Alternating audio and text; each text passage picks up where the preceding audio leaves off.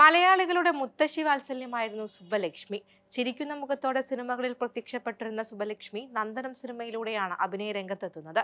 മലയാളികൾക്ക് മറക്കാനാകാത്ത നിരവധി വേഷങ്ങൾ ചുരുക്കം സിനിമകളിലൂടെ നമുക്ക് നൽകി. കല്യാണരാമനിലെയും നന്ദനത്തിലെയും വേഷങ്ങളാണ് സുബലക്ഷ്മിക്ക് ജനപ്രീതി നൽകിയത്.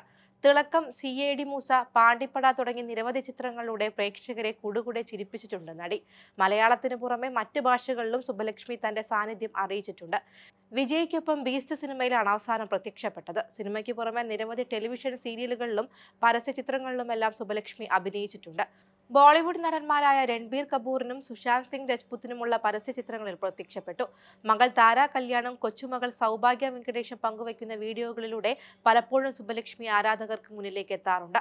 എൺപതുകളുടെ കാലഘട്ടത്തിലും ഒറ്റയ്ക്ക് താമസിക്കാനായിരുന്നു സുബലക്ഷ്മിക്ക് ഇഷ്ടം. ചെറുപ്പകാലത്തും താൻ തനിച്ചായിരുന്നുവെന്ന് സുബലക്ഷ്മി പറഞ്ഞിരുന്നു.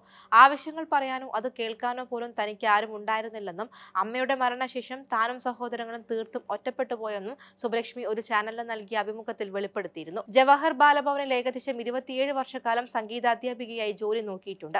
ആകാശവാണിയിലും പ്രവർത്തിച്ചിരുന്നു. ജോലിയിൽ നിന്ന് റിട്ടയർ ചെയ്ത ശേഷം ഹോർലിക്സിന്റെ ഒരു പരസ്യ ചിത്രത്തിലൂടെയാണ് ക്യാമറയുടെ മുന്നിലെത്തുന്നത്. നർത്തകിയും അഭിനേത്രിയുമായ മകൾ താര കല്യാണിനൊപ്പം ടെലിവിഷൻ പരമ്പരയുടെ ചിത്രീകരണ സെറ്റിലെത്തിയപ്പോൾ നടൻ സിദ്ദിഖിനെ പരിചയപ്പെടുകയും തുടർന്ന് സിദ്ദിഖ് വഴി തന്നെ നന്ദനം സിനിമയിലേക്ക് എത്തിച്ചേരുകയുമായിരുന്നു. രഞ്ജിത്ത് സംവിധാനവും സിദ്ദിഖ് നിർമ്മാണവും നിർവഹിച്ച സൂപ്പർഹിറ്റ് ചിത്രമായ നന്ദനത്തിലെ വാലിക്കാരി മുത്തശ്ശിമാരിൽ ഒരുവളായാണ് മലയാള സിനിമയിൽ ആദ്യമായി സുബലക്ഷ്മി തുടക്കം കുറിക്കുന്നത്. തുടർന്ന് ഏറെ സിനിമകളിൽ മുത്തശ്ശിയായും ഹാസ്യ രസപ്രധാനമായ വേഷങ്ങളും അവതരിപ്പിച്ചു. സിനിമയിൽ മാത്രമല്ല ഏറെ ടെലിവിഷൻ പരമ്പരകളിലും ടോക്ക് ഷോകളിലുമൊക്കെ ശ്രദ്ധേയ സാന്നിധ്യമായിരുന്നു.